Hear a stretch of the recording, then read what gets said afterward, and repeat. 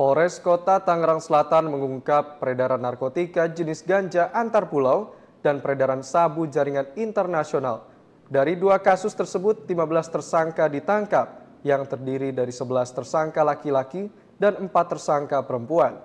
Pada kasus peredaran ganja antar Pulau Jawa dan Pulau Sumatera, Polres Kota Tangerang Selatan berhasil mengamankan ganja dengan total 642 kg serta menangkap delapan tersangka berinisial WRI, IG, ABS, RRU, AH, EW, MS, dan RM.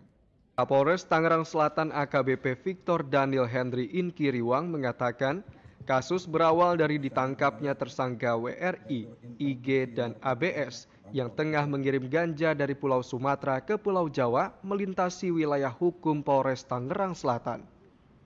Dari hasil pengembangan kasus, kembali ditangkap tiga tersangka lainnya, yakni RRU, AH, dan EW dengan barang bukti ganja sebanyak 390,59 gram.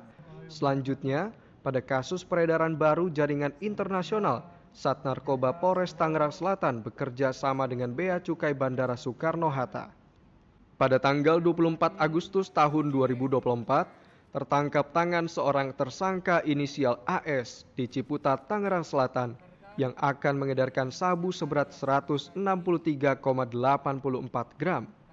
Menurut Victor, pada pengembangan kasus berikutnya, pihaknya berhasil menangkap seorang penumpang yang baru tiba dari negara Uganda berinisial RT membawa sabu seberat 2,5 kg pada 20 September tahun 2024.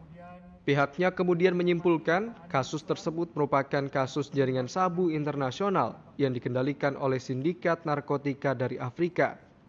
Pada kasus jaringan sabu internasional lainnya, pihaknya juga mengungkap peredaran serbuk ekstasi atau MDMA seberat 1,1 kg.